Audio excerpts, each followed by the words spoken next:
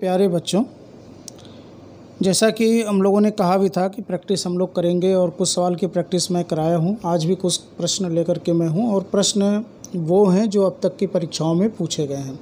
तो आइए देखते हैं, हमारा पहला प्रश्न है। पहला प्रश्न है कि उस कोण का मान क्या है जिसका संपूरक इसके पूरक के तीन गुना जितना बड़ा है? चलिए मान लेते हैं कि वो कोण थीटा है। तो इसका संपूरक निकालें तो हमारा आएगा एक सौ अस्सी माइनस थीटा। और अगर मैं इसका पूरक निकालूं तो होगा नाइन्टी माइनस थीटा। प्रश्न के अकॉर्डिंग कहता है कि ये इसका तीन गुना है।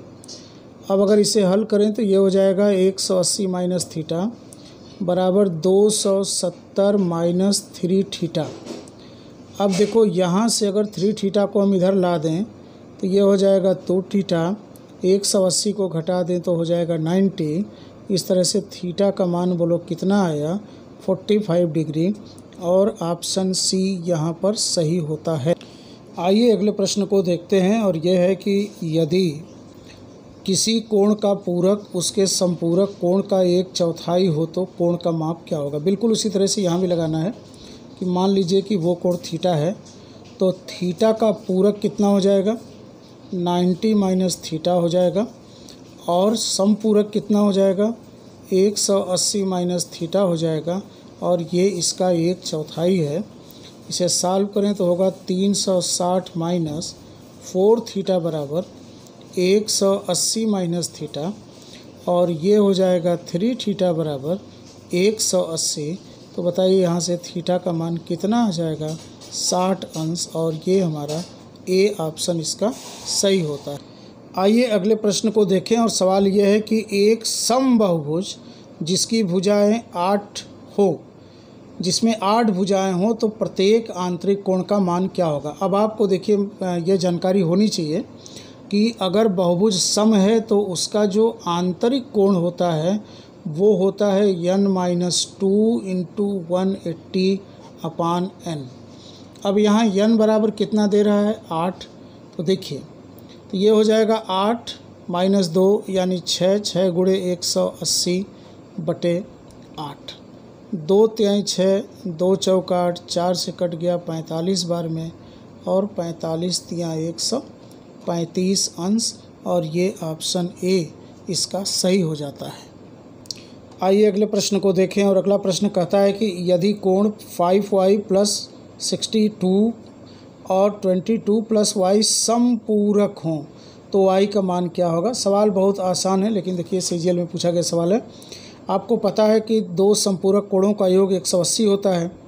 तो यहाँ से हमारा हो जाएगा कि five Y plus sixty two plus twenty two plus Y बराबर वन एट्टी। ये हो जाएगा, देखो, six Y plus eighty four बराबर वन एट्टी। अब यहाँ से हमें मिला सिक्स वाई बराबर नाइन्टी सिक्स और इसे हल कर दिया। तो वाई बराबर कितना आ गया? सोलह अंश। और ये देखिए आपका ऑप्शन ए यहाँ पर सही होता हुआ दिखाई दे रहा है। आइए अगले प्रश्न को देखें और ये प्रश्न बहुत अच्छा है। इस तरह का प्रश्न पूछा जाता है कि दो सेमी, तीन सेमी, पाँच सेमी और छः सेमी लंबाई वाले खंड से कुल कितनी त्रिभुज बनाए जा सकते हैं। और देखिए, मैं आपको शुरू में बता चुका हूँ कि दो भुजाओं का योग, दो छोटी भुजाओं का योग हमेशा तीसरी यानी बड़ी वाली भुजा से अधिक होनी चाहिए। तो आइए देखिए, दो, तीन, पाँच। अगर मैं दो, तीन और पाँच लेकर बनाऊँ तो आप देख रहे हो कि दो छोटी भुजाओं का योग बड़ी वाली के बराबर हो गया मतलब त्रिभुज नहीं बनेगा। अगर हम तीन, पाँच और छः को लेकर बनाएँ तो देखिए क्या होता है दो छोटी भुजा का योग तीसरी से अधिक हो गया, अतः यहाँ पर त्रिभुज बनेगा। अगर हम पाँच ले लें छः ले लें और दो ले लें और इसको चेक करें तो देखिए यहाँ पर हम देख रहे हैं कि पाँच छः और दो में दो छोटी भुजा का योग तीसरी भुजा से अधिक है, अतः यहाँ भी बनेगा। दो, तीन, पाँच हो गया। अब तीन, पाँच छः हो गया। फिर पाँच, छः, दो हो गया। और अब हम यहाँ से छः, दो, तीन ले लें अगर। छः, दो, तीन। केयर करिएगा। तो छः, दो और तीन में देखिए, दो छोटी भुजा का योग तीसरी भुजा से कम हो रहा है, अतः त्रिभुज नहीं बनेगा। तो केवल इसमें दो त्रिभुज बनता हुआ दिखाई दे रहा है, तीन, पाँच, छः पे, पाँच, छः, दो पर। अतः इसका बी आंसर सही हो रहा है। चलिए, आइए हम अगले प्रश्न की ओर बढ़ें और ये बहुत अच्छा सवाल है कि त्रिभुज ए बी सी में ए डी माध्यिका है और ए डी बराबर आधा बी सी तदनुसार यदि कोण बी ए डी तीस अंश है तो ए सी बी का माप कितना होगा? देखिए, ये S S C C G tier one में आया हुआ क्वेश्चन है। तो देखिए, यहाँ पे क्या कहता है कि त्रिभुज ए बी सी है और ये मीडियन है। ए डी इस प्रकार है कि ए डी का मान आधा बी सी है। अब आप यहाँ पर ध्यान देना कि अगर ए डी का मान आधा बी सी है तो बी डी और डी सी भी तो आधा बी सी है, क्योंकि ये मीट पॉइंट है। इसका मतलब ये तीनों रेखाएँ आपस में क्या होंगी? बराबर होंगी। अब यहाँ क्या कहता है कि कोण B A D B A D ये तीस अंश है। ये तीस अंश है तो ए सी डी की वैल्यू आपसे मांग रहा है। अब आप यहाँ पर देखो कि अगर ये सामने, देखो ये भुजा और ये भुजा बराबर है तो इसके सामने थीटा है तो निश्चित है कि ये वाला कोण भी बोलो क्या होगा? थीटा होगा। अब आगे देखो, ये तीस है तो इसके सामने का ये भी कितना होगा बोलो? तीस है। ठीक है? अब आगे देखो, यहाँ पर देखिए दो तरह से इसको लगा सकते हो। एक तो ये लगा सकते हो कि ये तीस ये तीस साठ हो गया इसका मतलब जो ये वाला कोण है, ये होगा एक सौ बीस अंश के बराबर होगा। और ये वाला कोण इस त्रिभुज का बहिष्कोण है। और बहिष्कोण का मान दूर वाले दोनों कोणों के योग के बराबर। तब अगर ये बहिष्कोण हो गया तो बहिष्कोण का मान दूर वाले दोनों कोणों के बराबर होगा। तो यहाँ से देखो हो गया टू थीटा बराबर वन ट्वेंटी। बताओ थीटा का मान कितना आ गया? Sixty degree. और यहाँ से डी ऑप्शन इसका सही हो रहा है।